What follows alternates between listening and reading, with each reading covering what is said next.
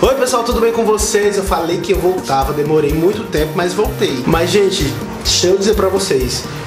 Deixa eu dizer. Vai acostumar não olhar pra, pra chibata. Pra chibata a gente olha. Eu tinha prometido que ia voltar e voltei, demorei muito tempo. Por quê? Porque tinha outras coisas para fazer, tem que pagar as contas, tem que limpar a casa, tem que lavar roupa, tem que fazer um monte de coisa. Só que aí, gente, aconteceu muita coisa nessas duas semanas ou uma semana, sei lá, que eu não apareci aqui para falar com vocês. Vocês, cinco, três pessoas que assistem no meu canal e tô muito satisfeito. Mentira, eu quero mais gente nesse canal, pelo amor de Deus. Divulga se você gosta de mim, se você não gosta também divulga, como é que seja para me xoxar, não tem problema não, que quando a gente vê oportunidade, a gente retribui a xoxação, tá bom? Muita coisa aconteceu, como eu falei pra vocês. Teve a história lá dos gafanhotos, teve a história da poeira, Teve o que mais, gente? A Covid, né, que tá rolando há muito tempo, né? O presidente do Brasil já é uma catástrofe também, né? Mas aí já tá meio que Gente, muita coisa ruim acontecendo, pelo amor de Deus.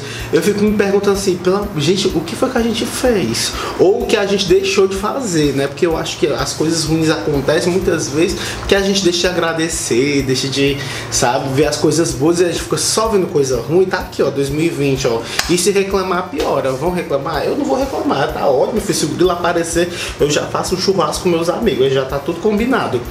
Bem que, pelo menos aqui, esses grilos, grilos Gente, é grilo e gafanhoto. Qual a diferença? Alguém me explica a diferença de grilo e gafanhoto? Porque pra mim é a mesma coisa.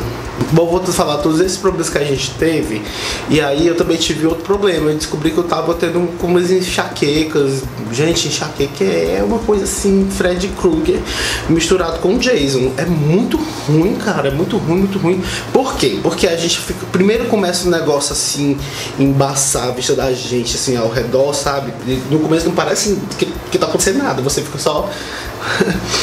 Oi, tá tudo bem, tá tudo tranquilo, não tem problema, tá super let's go, tá ótimo. Aí do nada você começa, a cara, a cara da pessoa começa a mudar, né? Você fica pensando assim, gente, isso não tá normal, não.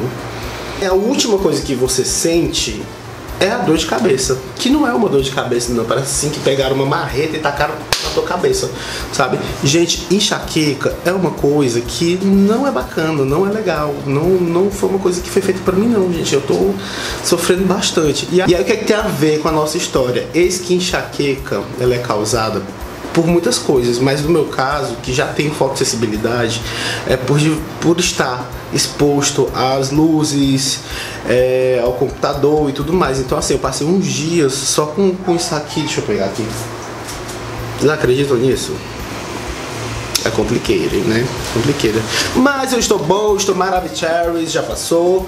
Mas e aí vocês perceberam uma coisa super diferente? Eu espero que esteja funcionando, gente, porque quando a gente grava, a luz, ô, oh, mulher.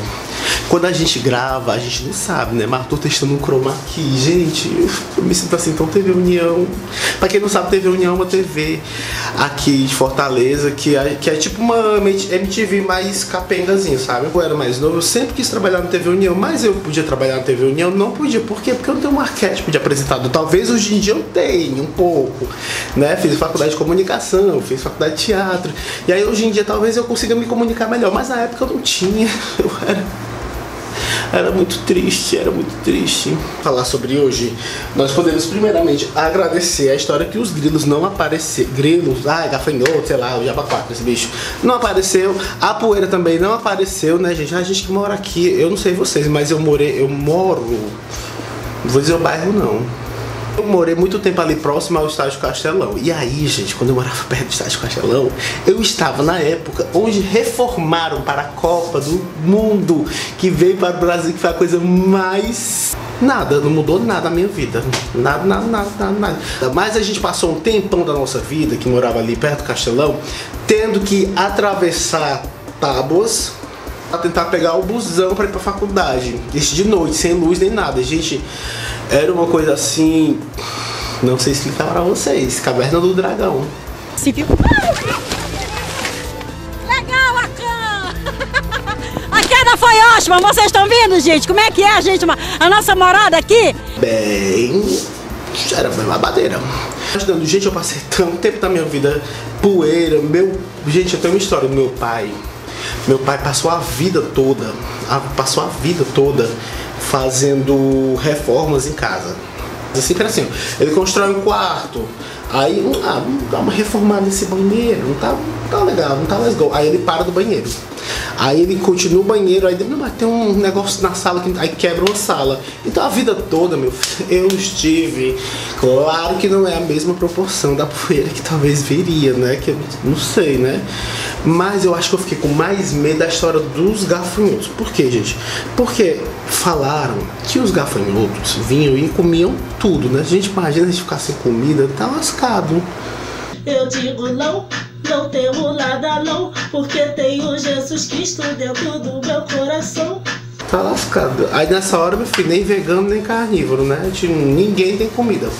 Essas coisas. Aí fica aparecendo essa galera dizendo, ai, é apocalipse, ai, é não sei o que das quantas, ai, Jesus tá voltando, todo mundo pro inferno, ai, sei o que, se mulher, mas tudo bem, vai, tá, vai todo mundo pro inferno, é apocalipse, tá tu- E aí, tu vai estar tá resolvendo o quê? Plantar a- o, o medo na cabeça das pessoas. Gente, pelo amor de Deus, eu tenho certeza absoluta que esse momento é o momento que a gente tem que tomar muito cuidado com as coisas que a gente fala pras pessoas. E não ficar saindo por aí dizendo que as pessoas vão morrer e vão pegar fogo e os aliens vão vir não sei o que. Gente, por isso que tanta coisa ruim acontece. Porque as pessoas parecem que adoram profetizar coisa ruim. Ah, eu quero que profetize que eu ganhe na loteria. Se bem que eu nem gosto de jogo. Quero que profetize que eu ganhe muito dinheiro trabalhando aqui com as minhas coisas, tá bom? E que eu tenho muita saúde com a minha família. E é o que eu profetizo pra vocês também. Gente, é uma passada muito rápida, só pra gente testar aqui o nosso novo cenário, né? Hoje, pela primeira vez na vida, gente, eu me arrumei pra fazer esses vídeos, tá vendo? Se alguém falar que não parece nenhuma diferença, eu dou um casco depois. Eu me arrumei. Não parece porque é a vida, gente. Nem todo dia a gente tá bonitão. Não mais.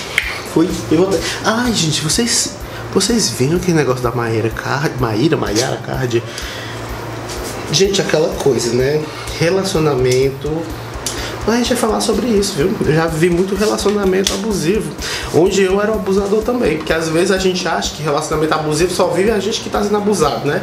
Quando na verdade muitas vezes a gente também é super abusivo com a pessoa, tá bom? Mas esses são outros carnavais, tá certo? Depois eu falo com vocês.